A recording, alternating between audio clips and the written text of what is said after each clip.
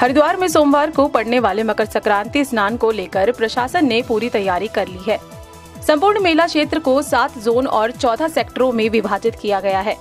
मेले और स्नान की तैयारियों को देखते हुए एसएसपी जनमेजय खंडूरी ने ड्यूटी में तैनात सभी पुलिस कर्मियों को ब्रीफ किया। इस दौरान एसएसपी ने कहा कि हर की पैड़ी पर भारी संख्या में श्रद्धालुओं की भीड़ उमड़ेगी।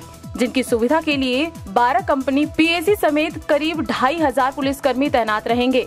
वहीं उन्होंने हाईवे पर भारी वाहनों के आवागमन पर रोक लगाने और रूट डायवर्जन की बात भी कही।